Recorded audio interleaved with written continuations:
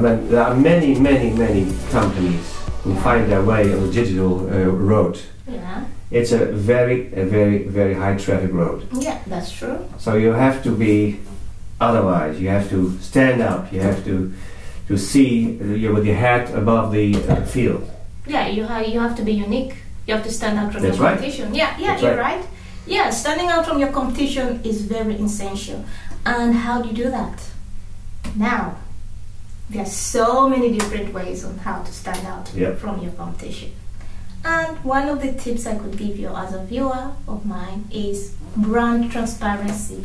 Try involving your clients in the process of creation of your service or Mhm. product.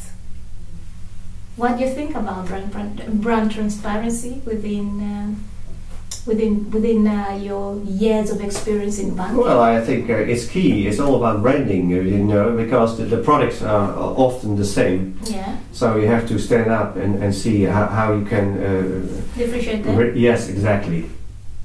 And that's why you need creativity, a lot of creativity. Yeah, and that's important too.